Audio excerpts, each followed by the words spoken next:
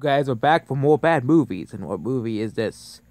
It is Rough Night. Another bad movie. No surprise.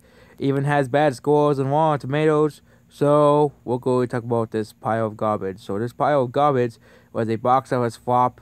Apparently, not surprising that no one wanted to see it, but apparently critics liked it enough. It has a 45% Rotten Tomatoes and a 51% Metacritic. Which again is not too far off the IMDb scores in this movie. Yeah. But really, this movie sucks. And none of the people in the movie were that great either. None of the acting was good. None of the characters were good. Nothing about this movie was good. So basically, they go to some place and they have a party and they accidentally kill somebody. So basically, throughout the whole movie, they're trying to dispose of this person's body. I actually didn't know about Johansson was in this movie.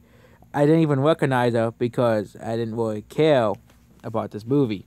Now the characters were that great, and well, in this movie was also another pile of garbage that I think everybody wanted to shove down under the rug, as well.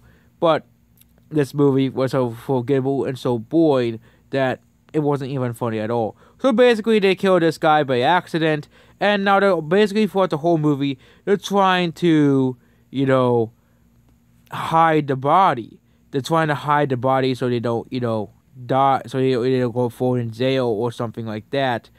And basically, they warned that the person they killed at the end of the movie was a criminal, and they've been looking for this person anyways. And the other two criminals go into where they were sleeping for the night, and then they they, they killed the other. They got the other criminals in trouble, and yeah, that was the entire movie in a nutshell. I basically spoiled the entire movie, cause that's how simple the plot is basically. And that's it about the movie. This movie sucks. Don't watch it. Don't don't give it any attention.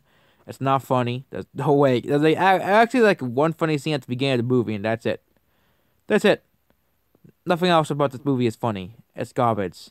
So what score to give it? Two out of ten. Just like neighbors. Goodbye.